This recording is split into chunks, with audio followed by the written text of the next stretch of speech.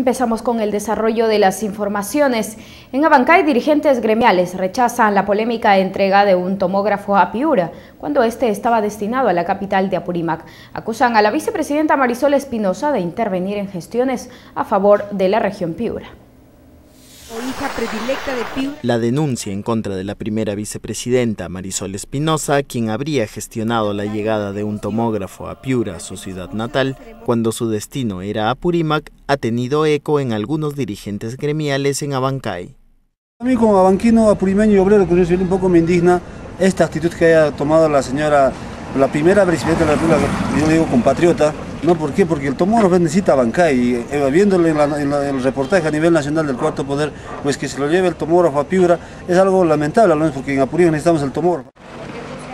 Ellos también siendo padres de acá de Apurímac que le hemos elegido, yo no sé si porque es de su partido político lo ha dejado pasar, él ha debido ser el llamado, en que ha debido estar reclamando ahí en el, en el Congreso, pues que no se nos haga, que no se nos pisotee.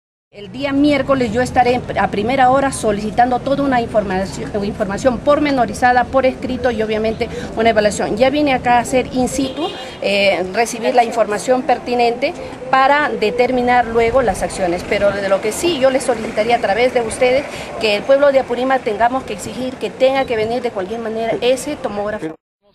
De acuerdo al informe difundido por Cuarto Poder, Espinosa envió una carta el pasado 11 de agosto al presidente ejecutivo de Salud, Álvaro Vidal, un mes antes que se decidiera reasignar desde Abancay hacia Piura, pidiéndole explicaciones de por qué un tomógrafo que requería Piura desde el 2007 no había llegado aún.